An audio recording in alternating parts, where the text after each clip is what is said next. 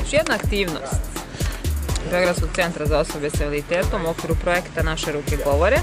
Imali smo ekološku radionicu Jozića Kolibi. Zatim, zajedničkim snagama sa udruženjem Ratni vojni invalidi pripremamo pasulj. Imaćemo jednu futbalsku utakmicu između udruženja gluvih i ratnih vojnih invalida. druženje u prirodi, malo tmuran dan, ali poslužilo nas vreme, nema kiše. Vidjet ćemo ko će biti pobednik meča.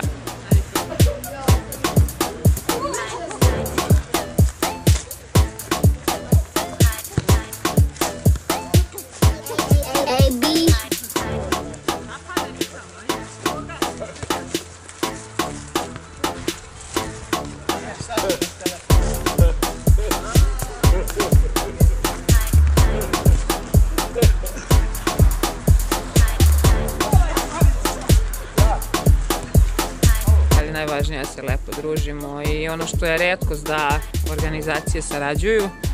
Ja bih pohvalila ovu saradnju sa udruženjem ratnih vojnih invalida i udruženje gluvih i nagluvih. I nadamo se da ćemo još više, bolje i duže sarađivati.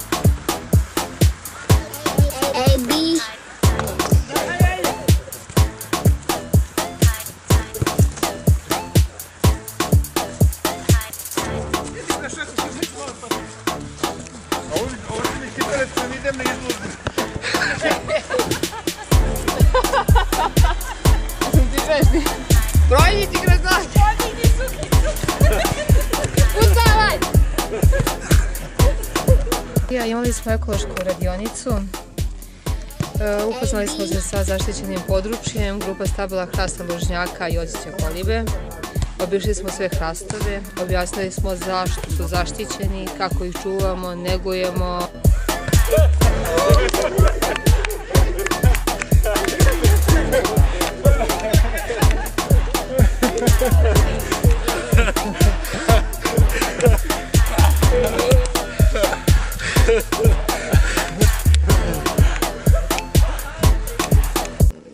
Uporedili smo sa zabranom, ipak e, grupa stabla hrasta lužnjaka je najstarija, najstarije za, e, ekološko ovaj, e, zaštićeno područje.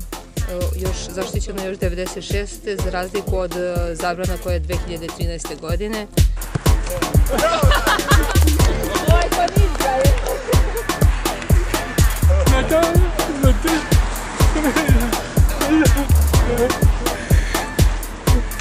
Upoznali su se sa svim merama zaštite i e, programom koji sprovodimo tu u cilju zaštite tih rastava.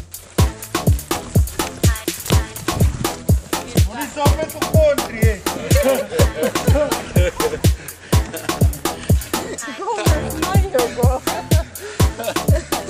Ti si vidio što je uradio? Ja smanjio gol.